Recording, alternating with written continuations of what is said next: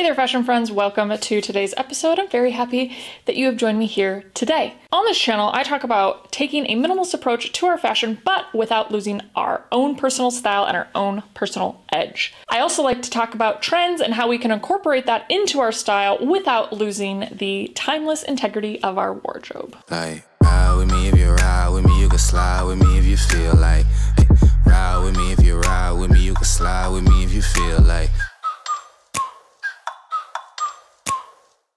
If you missed my previous video, 10 ways to be trendy without spending money for spring, then I will make sure to link that down below so you don't miss that as well, because a lot of those trends are definitely trickling in to summer and are going to be relevant all year round. So, all right, so today's episode 10 low cost ways to incorporate trends into your summer style. Woo! Yes, summer is here. Okay. I've said before, you guys know I love trends. However, I do, you know, take a minimalist approach to my closet, just meaning that I like to choose pieces that are more timeless, classic, have good quality, and are going to sustain me in preference, uh, in style, as well as, uh, you know, quality over time. So yes, that is definitely kind of my approach, but I also just really love fashion and trends and just pulling in from all different directions, pulling in anything that I'm feeling really inspired by. And a lot of times that is, you know, trends. For the most part, I just want little things, easy things, low cost things, or no cost things that I can take and incorporate into my more uh, minimalist, classic sort of pieces to give them a little bit of flavor, give them a little flair, and really have some fun, you know, with different sort of recipes as we could call it. Yeah, so if you're similar and you want some just easy ways to incorporate trends without having to make big investments on something that maybe will be fleeting or you won't be into later on, then this is definitely the episode for you. So let's get started. The first one is Bermuda shorts. Yes, but for today's sake, for today's low cost option, we are gonna be doing DIY Bermuda shorts. Yes, and what does that entail? Getting a little snippy. You know I love getting a little snippy. So these are jeans that you might have seen on one of my shorts where I was debating on keeping these because they were so close. Oh, to these guys actually. I need to be careful with these. So first we're just going to, gonna sort of measure where I want I'm not, I don't get fancy with this. I just sort of always account for error, you know? Okay, yes. So I'm gonna make the first cut. Okay, all right, that looks like a good length. Yeah, safe length. All right, now I'll do the other side. Okay, there we go. Yeah. All right, let's try these guys on. Not bad, right? Yeah, that's cute. And there we go. DIY Bermuda shorts. Number two is baby bangs. Mmm, cutie. I definitely do not have that problem. I mean, I could I could go baby with the with this haircut. No. This is a great option because bangs are very easy. Easy one. That if one, if you don't like it, they grow up pretty fast. Two, it's not like a full commitment to like a full on haircut. So I think bangs are always like a good one to just try out and have some fun with. And it's also just like a great way to, you know, spice up your hair if you're kind of feeling a little bit like blah. Great way to just boop, you know, do a little something to spice it up a bit. Number three is mermaid core. This is definitely a very new trend, but the stuff that's incorporated in this trend is very timeless. I mean, it's like, you know, blue sequence type stuff, you know, seashells, pearls, you know, the like seafoam blue, that kind of stuff. So it's not like it's completely out of the blue. Not like you're gonna have to get a bunch of new stuff. Now, for me, I'm not somebody that, you know, wears a lot of color or a lot of detail like sequins or seashells or anything like that. But I do love like the idea of, of the mermaid core. You know, I'm definitely a fan of Little Mermaid. I was definitely that, you know, like eight year old, you know, playing in the pool, doing the hair flip.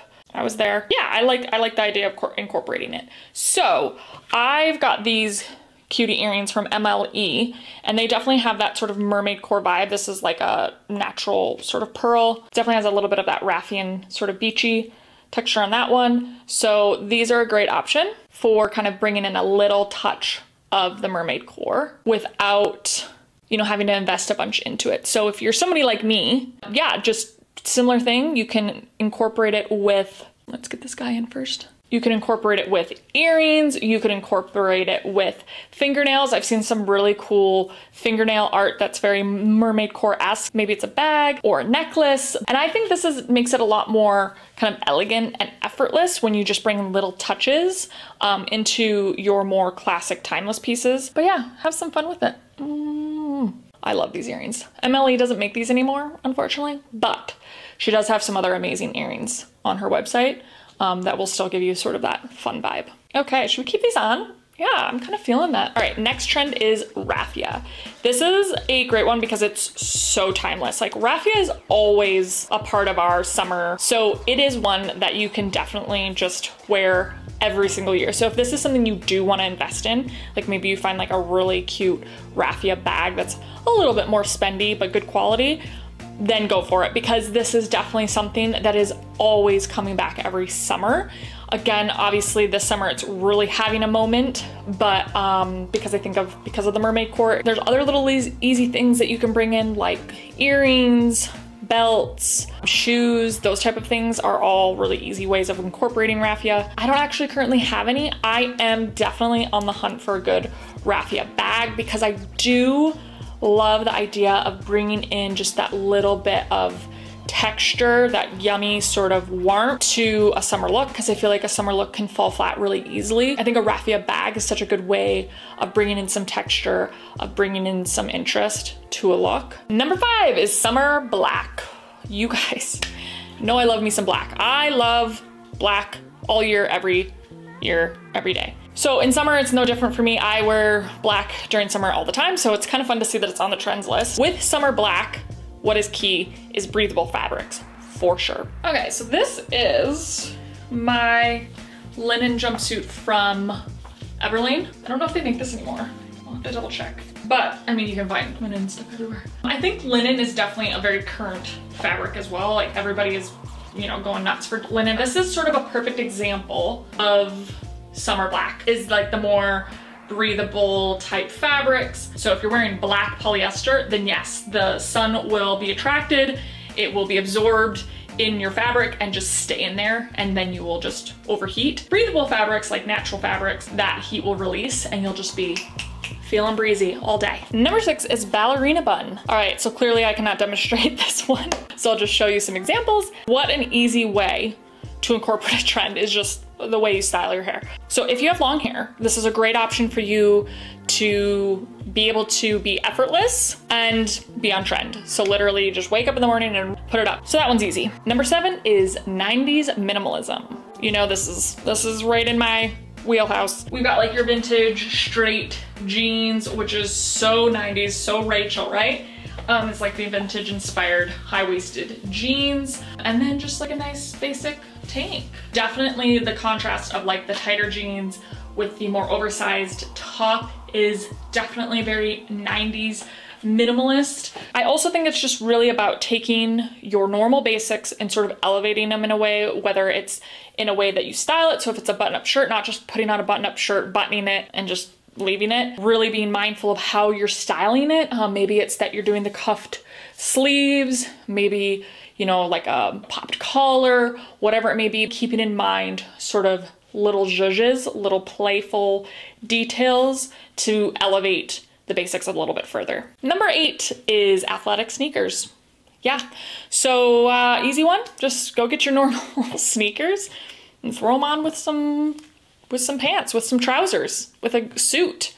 Yes, done and done. That's how you elevate something that's sort of conventional is by contrasting it with something on the other end of the spectrum. So that's how you're going to elevate the more athletic sneaker is by bringing in those contrasts. Number nine is rosettes. This was definitely 90s. Like I had the sweatshirt with all the little rosettes all all over it when in the 90s for sure. So yeah, it's definitely 90s, but it is something that's always around. I see rosettes all the time. Okay, so a simple way or a low cost way, you can get these for decent prices. I think this was like $15 on Amazon. Um, and then it's just got like a little pin so you can just do all sorts with it. So you can, you know, add it to, there you go, just like a cutie little cutie little detail. But another way is if you want to kind of go a little bit more bold with it. This is like a, a tie scarf. Yeah, okay, there we go. You just add, there we go.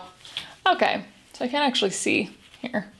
But there you can see as, you know, you're just kind of adding it to another accessory, the scarf, um, just kind of adds like a little bit more, I don't know, a little more volume to it. So yeah, it's just like a fun little way to add another little trend to your more basic looks. And number 10, the best for last, super short haircut. Yes, so super short haircuts are very much on trend. I recently got my haircut and I thought, you know, I didn't even know this was a trend, seriously, um, until actually I was do gonna do this video. But I just really wanted to go short again, like even more short than my hair was, because I just felt like, oh, it'll be easier for summer, like as if my hair was so long uh, before. I think I, I, I should have gone shorter, I think was really my direction as I wanted to go even shorter. So now I feel like I'm in this like limbo mode of like wanting to shave my head and wanting my hair to just grow out to what it was. So if you're somebody that's looking for a big change, maybe you have really long hair and you're not really sure where you wanna go, go extreme, go super short. Maybe you're somebody that already has somewhat short hair and you're like me, you're just like feeling it, go super short. Or maybe you already have super short hair and now you can be like, yeah, yay, I'm on trend. You're always on trend in my book, clearly. It is a much bigger commitment than say the little baby bangs, uh, definitely. So you gotta kind of be ready for it.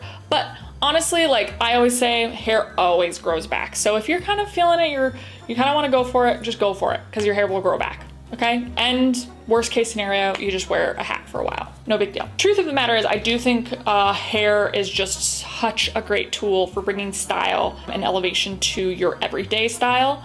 Uh, when you have like a good haircut, it definitely brings in a lot more style. So yeah, there we go. All right, my friends. So those are 10 low cost ways of incorporating trends this summer. I hope that you found today's episode helpful. If there is a low cost way or a no cost way of incorporating some trends that I missed, then definitely comment below, let us know, share that wealth, share that knowledge. We are all in this together. Tomorrow's Hey Fashion Friends newsletter will be unleashing your inner stoic for better style. So if you don't want to miss out on that, make sure to click the link down below in the description to sign up with your email and make sure after you do that that you check your spam folder for the confirmation email and that you do confirm the subscription. Well, I don't know about you, but it is absolutely gorgeous here in Minneapolis, Minnesota. So I'm gonna go out and have some fun on this while I'm recording this on a Friday. So uh, I hope that you're having a lovely, beautiful, wonderful day wherever you are. Stay healthy, stay safe, love, and support each other. And we will definitely be chatting soon. Bye.